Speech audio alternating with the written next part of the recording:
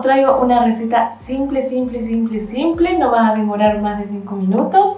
Esta receta va a ayudar a proteger y reparar nuestro cabello. Es una broma capilar reparadora y protectora con unos súper, súper ingredientes como la queratina liposomada, péptidos de amaranto o colágeno marino vegano.